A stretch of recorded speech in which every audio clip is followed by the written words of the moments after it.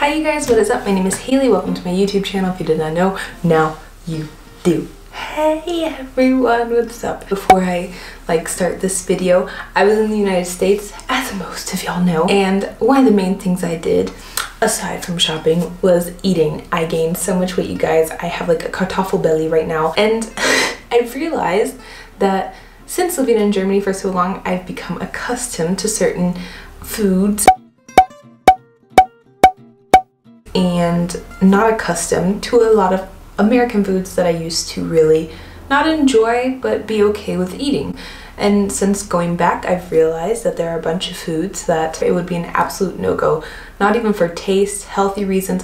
I mean, there's so many different reasons, how many chemicals and everything are inside. There's just so many foods that Germans would not eat in the United States and they would not allow to come over to Germany. If you guys think of any other foods, let me know. I've made a big, as big as a list as I could, but yeah, let's go. The first one is going to be fried Oreos or fried cheesecake. All of our food in the United States varies from region to region. So up north people really don't eat that much fried food as in comparison to people in the south in Florida and stuff where I'm from you can eat basically anything fried. You can fry anything in Florida. I want to say you want to fry some ribs in a teig, then you can do that.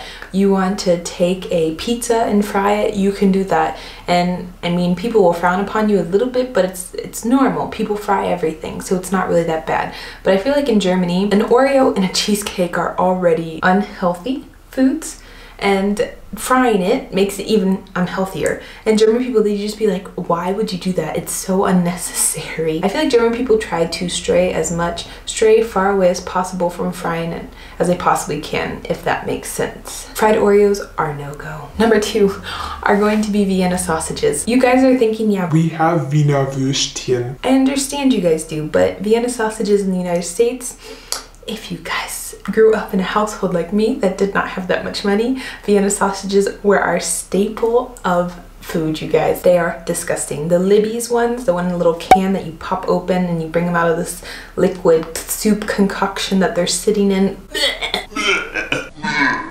It's basically like the little Wiener Würstchen that you have and they just cut them up small, but they're like weird tasting. It's not the same like taste.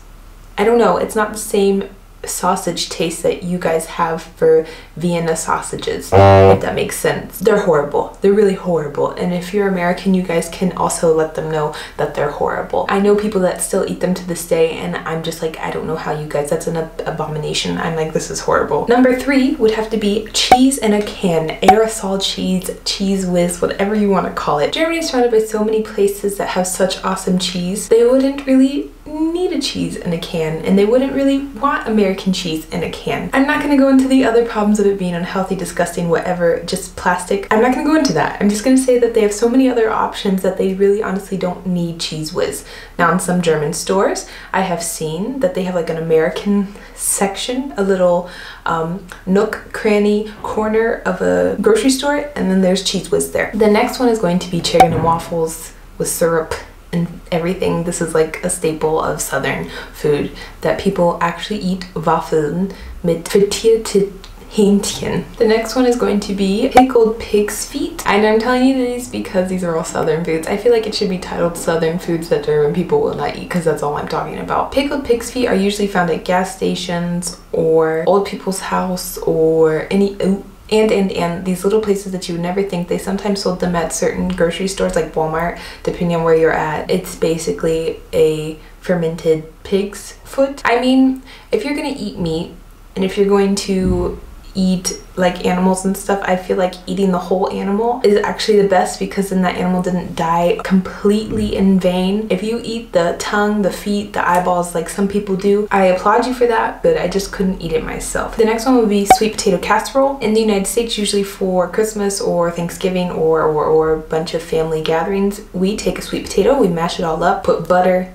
sugar. It depends on what how you make it. Condensed milk, we mix it all together and then you top it with a little bit of sugar, then you top it with marshmallows, and then sometimes people put cinnamon and sugar on top of the marshmallows. Depending on where you're at, that's like I guess the basic recipe of sweet potato casserole. German people would be like, why are you taking a already sweet fruit and vegetable and making it more sweet by adding more sugar, topping it with more sugar. I don't think it would be able to process with their mind and be too sweet for German people. The next one is going to be liquid butter on popcorn. I've yet to find popcorn that gets like we legit, if you watch my video from a year ago, a year and a half ago when I went to visit my mom and my grandma in Florida, at the movie theater there was a dispenser that you would take your popcorn and you push a button and out would come just butter, liquid hot butter and you'd put it on your popcorn. I feel like that's normal. They usually ask you at the movie theater, do you want it with or without butter? And if you get it with butter, your fingers are just covered in liquid de salty butter. It wouldn't slide here because German people, they'd be afraid of the clogged artery and whatnot that they would be getting from it. The last one, you guys, are going to be corn dogs. I don't know how to explain this in German. Would be a